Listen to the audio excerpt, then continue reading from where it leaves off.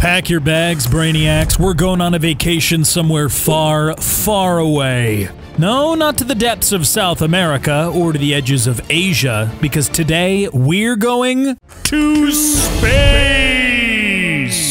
Now, I know what you're thinking. Isn't it a little too soon for civilians to be going into space? Surely there's more tests to be done. After all, we don't want to get out there and find out there's a ton of xenomorphs on Pluto or something. Well, pish posh to that, I say. You may not know it, but the space industry has seen a ton of innovation over the last couple decades, largely due to the increasing involvement of the private sector, and it seems like we could be mere months away from space tourism becoming a reality.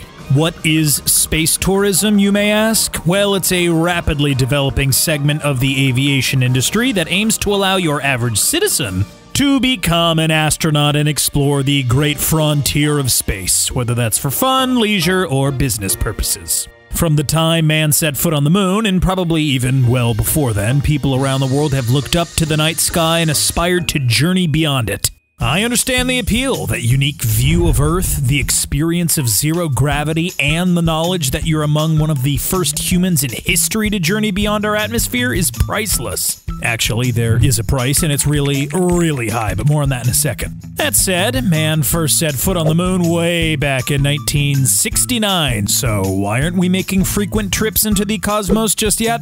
As usual, the answer is related to cost. Until recently, space related activities were so expensive and politically motivated by events such as the Cold War that only government bodies like NASA were really allowed to handle them. Unfortunately, this also meant space exploration relied predominantly on government funding, which dried up significantly over time. In fact, by 2011, NASA had lost so much funding, it had to retire its own space shuttle program for good. Ironically, this meant that US astronauts were relying on Russian shuttles for trips to and from the International Space Station.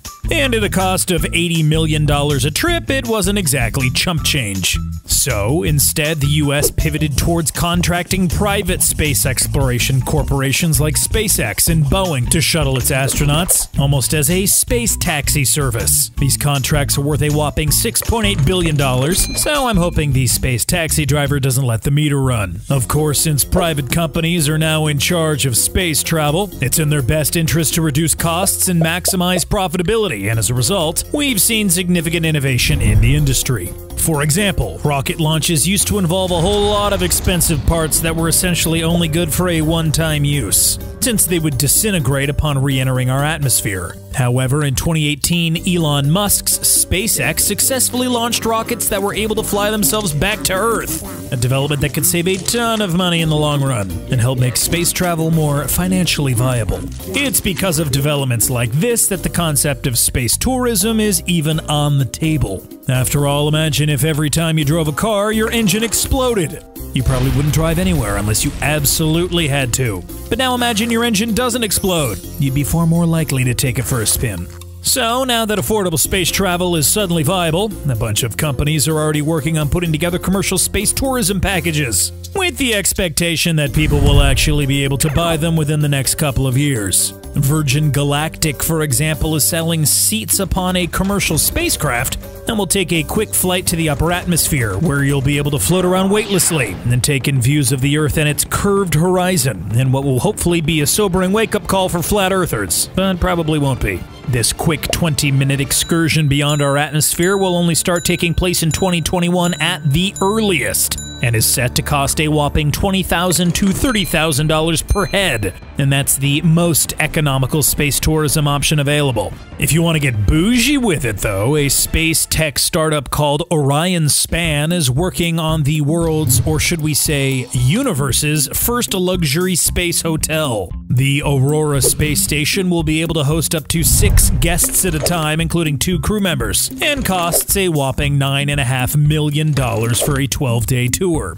The hotel will orbit the Earth every 90 minutes, meaning guests will see 16 sunrises and sunsets every day, and get to engage in activities like zero gravity ping pong. There will even be high speed internet on board so you can share your once in a lifetime experience with the folks back on Earth. After all, what's a trip to space if you can't flex it on the gram? While I keep referring to space tourism as a future activity, the reality is it's already happened. American multi-millionaire Dennis Tito became the world's first space tourist when he paid $20 million to visit the International Space Station way back in 2009. Around six people have followed the lead since then, but again, the costs are so prohibitive that it isn't really worth it for most. Some industry experts have predicted that the 2020s will mark the culmination of two decades worth of developmental work that has gone into space travel and finally birthed the entirely new industry of space tourism. Of course, there are still some problems that need to be overcome. Currently, there is no real regulation as to who will be allowed to fly and who won't. Unlike your average destination hotel stay, being in space is physically stressful.